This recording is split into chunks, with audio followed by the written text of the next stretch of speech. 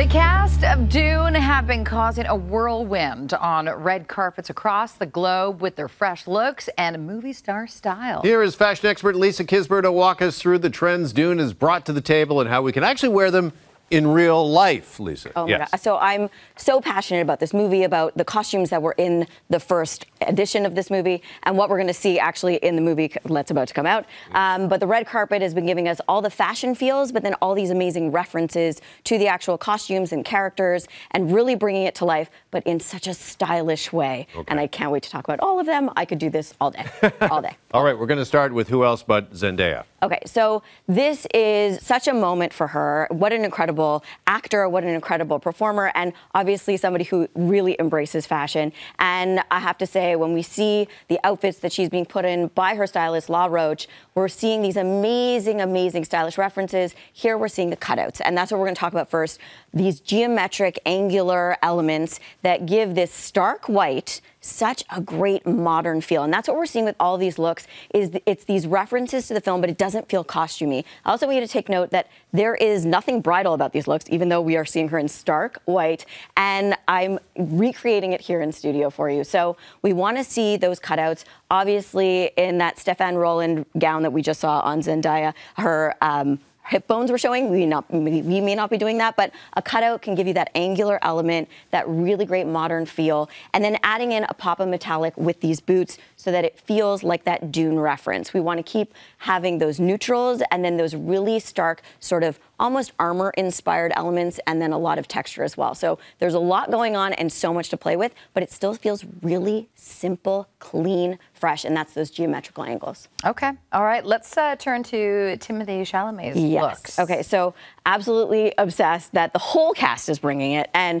we're seeing this in all these different red carpet moments. Timothée is doing a really interesting reference to, I think, his character. Um, we're seeing Paul Atreides really embracing his sort of dual role, right? He is the the Duke's son, and now the Duke, uh, and Caladan, but he's also uh, embracing his new role among the Fremen in Atreides, and I really think that this is in Arrakis, sorry, and I really think that this is an amazing way to reference those two elements. We have the earth tones, we have that really dark element, and he's doing a lot of dual leather, and combining the brown leather and the black leather feels very fashion forward. We saw it with his Prada look, with his Hermes look, and here we're seeing it in studio. So we're reinterpreting it uh, with this beautiful mid-length gown in that brown leatherette, and then again we're having that motorcycle jacket feel but it st- still feels different, very modern and different. Uh, so you're not thinking, okay, it's from this world, it's from that world, but it's just visiting here. yeah. Okay, up next, we've seen a lot of uh, oversized suiting. We have, and I love this. I mean, I love this because it feels very fashion forward in terms of what we're seeing on the runways, but then seeing it on the red carpet. Here are incredible looks. Austin Butler, uh, just looking absolutely fabulous. That oversized element, and then Zendaya as well. And to me, this is almost a reference to Jacqueline West and Bob Morgan, who are the costume designers for Dune. They really have a lot of these sort of monastic elements, these elements rooted in history, and a lot of spiritual and cultural elements. And there's something very monastic about that, that sort of oversized, um, really structured look. And I mean, we, we recreated Austin Butler's look because I think this is so modern. We get that suiting, which is polished and fresh, but then we're also getting a little bit of that runway feel because we're not popping on a collared shirt. We're popping on that great tank top, uh, that oversized element, long line, super flattering, and just a really modern take on something that we think of as very traditional, which is the suit. And I think that's what we're seeing with all of these Dune references, with all of these Dune costumes being brought to life on these red carpets, is they feel like fashion, but they also feel like a reference to this other world. Mm-hmm. Yeah. Yep. Uh, another look that is uh, prompting a trend is uh, the midriff bearing look that Zendaya is doing. Yes. And, you know, I don't think that it's realistic for a lot of us to be wearing a two piece, floor length, high slit gown on, you know, in our day to day. But I love that we're seeing this. Again, it feels different, it feels fresh for a red carpet.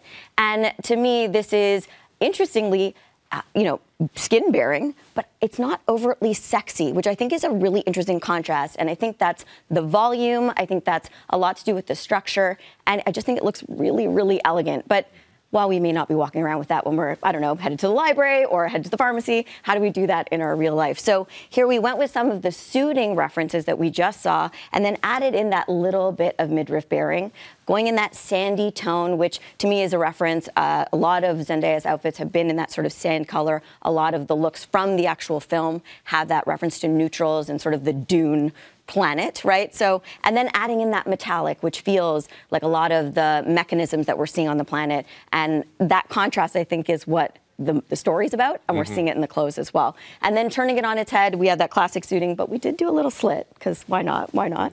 Um, but this feels structured. It feels like something you could wear um, in your day to day. But I definitely feel the dune happening here. Yeah, I love the buttoning, by the way, there as well. Just the nice Little little, detail there Little and a little twist. twist. Yeah. Yeah. All right. Uh, the oversized suiting kind of reminds me of the 80s. So does this uh, as well, the jumpsuit. Yeah, so I think a lot of what we're seeing to me is Blade Runner esque. Um, there is that 80s reference, and I think a lot of great fantasy and sci fi films and stories happen uh, on screen in the 80s. But interestingly enough, the two costume designers, uh, and Jacqueline West specifically, didn't actually watch a lot of some of the biggest uh, sci-fi films because she didn't want to have them influence her with the costumes. So I think it's interesting that we're seeing this influence on the red carpet. There we're seeing that incredible uh, twinning moment for them in the Yunjae jumpsuits in Seoul, Korea. And so we had to do it here, obviously, in a jumpsuit. I don't think that most of us are going to wear a leatherette or leather jumpsuit head to toe. I just think temperature-wise that would be a struggle. Um, and this isn't a still suit, so it's not like you know recycling your water like in the movie. Um, so we went with denim, which I think is a really safe bet. Still gives you that structure feel, and then obviously you can pull a Zendaya and sort of pop out the shoulder um, and sort of turn it on its head. The other thing that we did here is instead of you know wearing it with sneakers, which I think is what a lot of us would do, try a little bit of a different silhouette in the footwear as well, because I think that makes it feel very red carpet. All right. And go. I'm loving your look. Thank you. Love Channeling it. Nailed it. Dune. I Yes. love it. Yes, I'm ready.